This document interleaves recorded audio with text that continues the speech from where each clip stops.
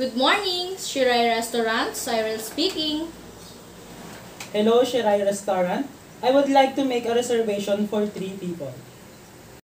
For which day and what time would you like the reservation? Tomorrow, please at 6 p.m.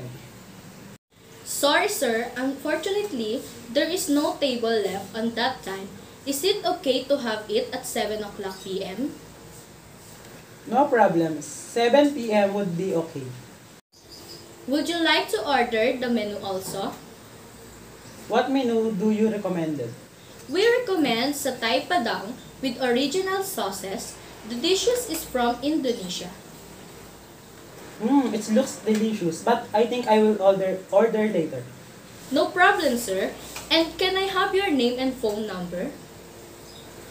It's Keronil Castro and my phone number is 09306-774700. Let me repeat your reservation, Mr. Caronil. Tomorrow, 7 o'clock p.m. and your phone number is 0930-677-4700. Is that all correct, Mr. Caro? Okay, that's all correct.